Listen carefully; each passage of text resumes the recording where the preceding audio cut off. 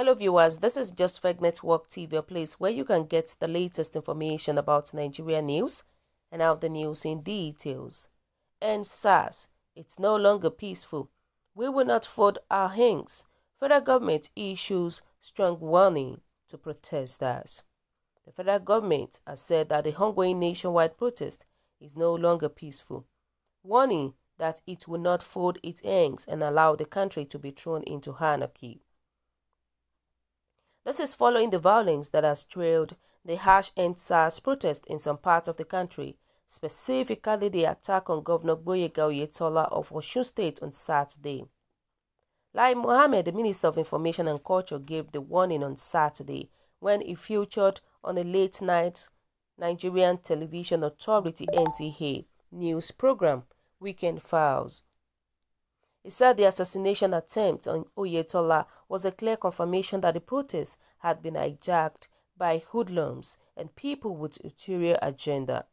According to Mohammed, the original conveners of the Harsh EndSARS protest might have meant well, but are no longer in control of the movement. Peaceful protest is an integral part of democracy and that is why the federal government in the last 11 days has treated the protesters in a very civilized manner, Mohammed said. But if you look at what happened to the governor of Osun State, it has gone completely beyond peaceful protest against excesses and abuse of power by the police. There is nowhere in the world where a government will fold its arms and allow the country to, to descend into anarchy.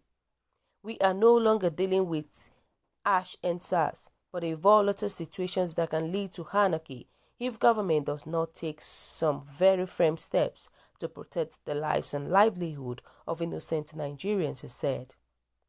Mohammed said in a protest where protesters are now blocking the roads and highway cannot be said to be peaceful because workers are finding it difficult to get to their offices and back home while many Nigerians are stranded on the road.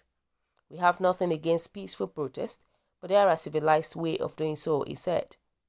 This is by going on a venue where you are not going to disturb other Nigerians because where your own right stops, other person's right begins, he said. Wow, so viewers, what do you think about this? So the federal government can still have the guts to talk like this.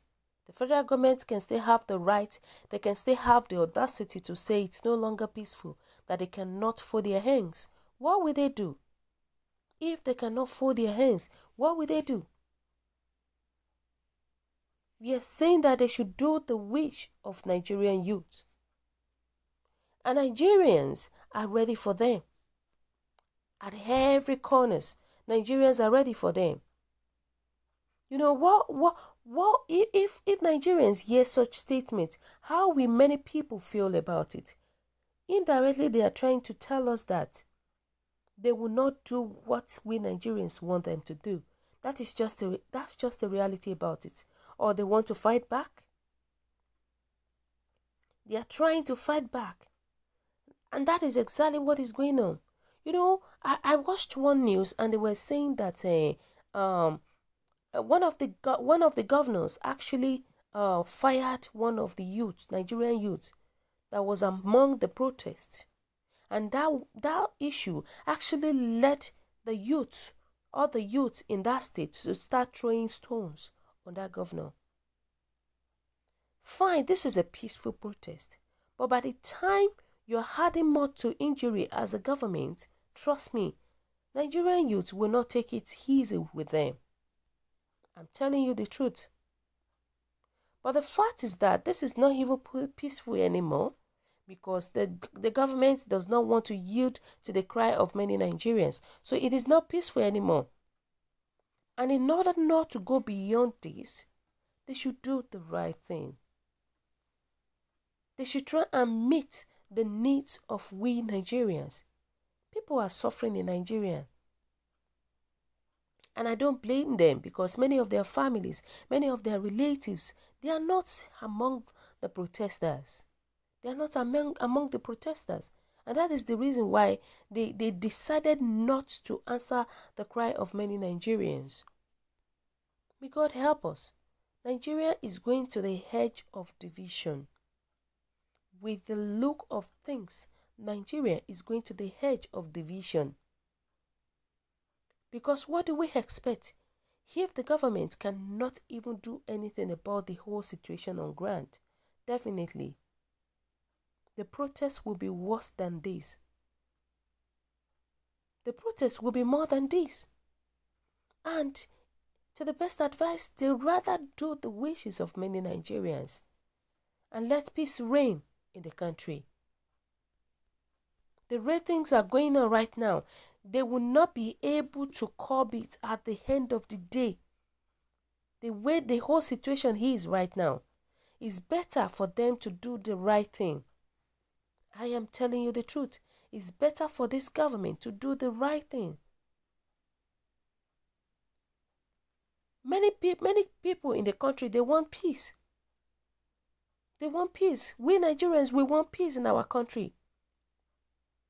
But it's just so unfortunate that our leaders are not giving us the peace that we want in the country. It is so unfortunate to hear that. They are not giving us the peace that we want. And that is why the, oh, the whole situation is on ground right now. May God help us. President Buhari is just there, figure headed. Saying all the things that is going on in the country, saying all the killings. You can imagine ever since this protest has started, as the leader of the, of the country, you have not deemed it fit to address your people. And we say we have a leader. That is not a good leader. That's not a good leader. And if care is not taken, if this issue is not addressed properly the way it's supposed to be addressed, this protest is going to to the edge at by which Nigeria would divide. And that's just the reality about it. So viewers, what do you think? What is your own take? Kindly drop your comments. Have the comment section below for those who subscribe. We want to say a very big thank you to you for subscribing. We say God bless you. If you're yet to do so, kindly press the subscription button below. And also please don't forget to press the notification button so that whenever we upload news, you will definitely be the first person to always watch our latest news anytime, any day. We appreciate you for always being there for us at all time. We say God bless you to you. Thank you for watching for, for watching our news. God bless you once again. And always stay safe at this crucial time. It is very important to you and me. Thank you. Bye.